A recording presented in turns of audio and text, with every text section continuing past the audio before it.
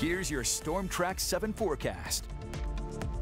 I'm Storm Track 7 Chief Meteorologist Mark Schnackenberg. Threat tracker showing no hazardous conditions around here as we head through the next couple of days. Mostly clear sky tonight, another day with plenty of sunshine tomorrow.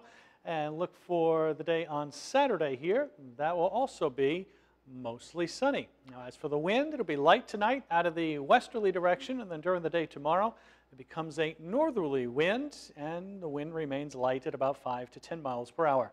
As for future track, we're showing dry conditions with some high thin clouds at times passing on by. Otherwise, a clear sky expected, and look for plenty of sunshine here during the day tomorrow. All in all, very quiet conditions tomorrow and really the next several days. Here's a look at your Storm Track 7 forecast tonight. Mostly clear sky, temperatures a little bit above normal, drop down into the lower and middle 20s. Normal low should be about 17. Mid 30s normal high for this time of year, but look at those highs into the lower and middle 40s. The wind out of the north at about 5 or 10 miles per hour. Your city by city forecast, including Waterloo, Dubuque, Cedar Rapids, and Iowa City. We've got some sunshine on Saturday. A mix of sun and clouds as we head into the day on Sunday. Touch cooler with a few more clouds on Sunday.